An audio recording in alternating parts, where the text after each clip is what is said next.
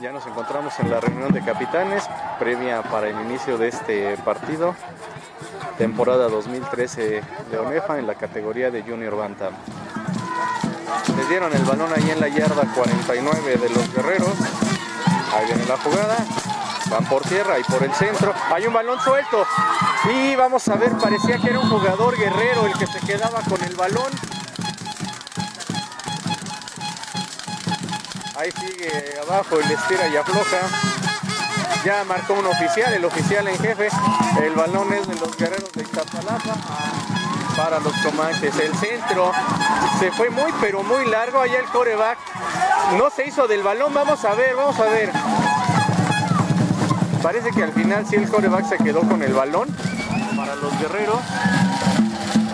Allá viene la jugada, el centro se quedó muy alto, ahí entregan al número 2 y allá va por el lado derecho.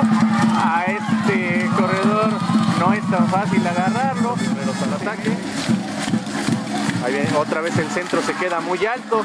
Y bueno, vamos a ver quién va a recuperar ahí. Los Comanches se quedan ahí con el balón suelto. Tercera y las mismas 15 para los guerreros. Ahí viene la jugada.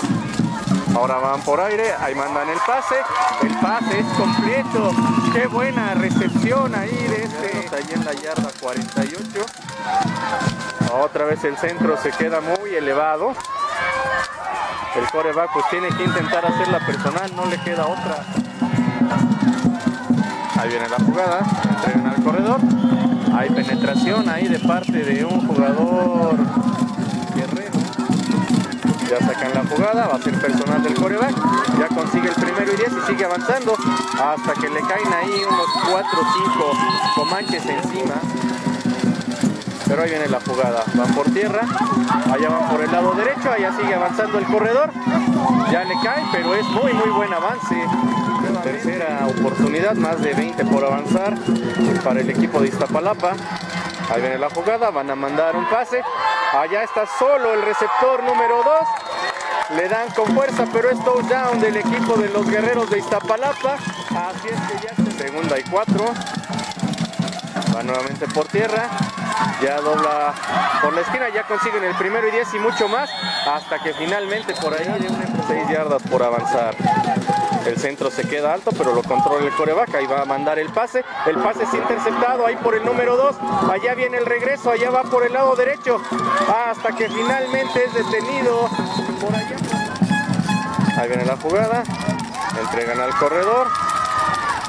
Allá lleva ya un par de guerreros colgando. Hay un balón suelto, balón suelto. Lo han recuperado los guerreros de Iztapalapa. Segunda oportunidad. Van otra vez allá por el lado derecho. Allá va el corredor. Se anda quitando rivales. Caray, qué dura tlaqueada. Primero y gol para los guerreros ahí en la yarda número 5. Ahí viene la jugada, van por tierra, allá por el lado izquierdo. Allá va el jugador que se va a meter. Dos down del equipo de los guerreros. Ya no alcanzamos a ver aquí. Están abajo 12 puntos a cero. Pues ahí van a correr de nuevo por el centro, ¿no? Ya el corredor corta por el lado derecho. Ahí anda buscando los huecos, sigue avanzando. Caray, ¿por qué no le caen los jugadores guerreros finalmente?